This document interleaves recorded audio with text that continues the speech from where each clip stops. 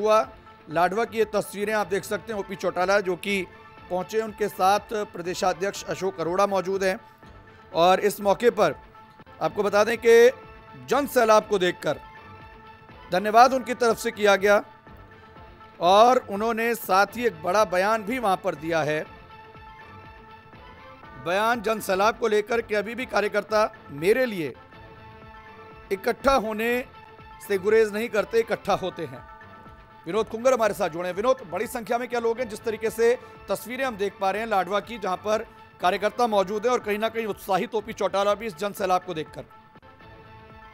बिल्कुल, क्योंकि जो ओपी का चौटाला की जो छवि है, वो आम जनता के बीच काफ़ी बेहतर है। ऐसे में आम जो जनता है, वो ओपी का चौटाला को, क्योंकि के बीच में जो एक तरह के जो अलग लोग बैठे हुए थे तो लोग इसमें उनको काफ़ी नज़दीक से देखना चाहते हैं।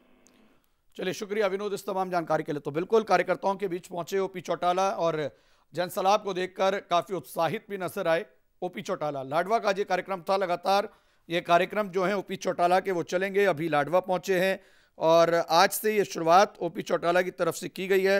लोगों से मुलाकात करने की, कार्यकर्ताओं से मुलाकात करने की और इस पूरे प्रोग्राम की अगर बात करें तो जिस तरीके से ये कार्यक्रमों की लड़ी शुरू की गई है उसके बाद सीधे तौर पर कह सकते हैं कि ये लंबा कार्यक्रम कार्यकर्ताओं से मुलाकात का चलने वाला है।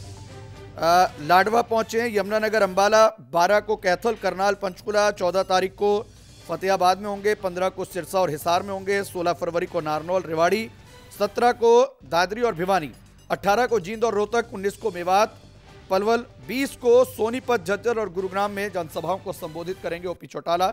और ऐसे में अब लाडवा पहुँचे जहाँ पर उनकी तरफ़ से कार्यकर्ताओं को संबोधित किया गया है।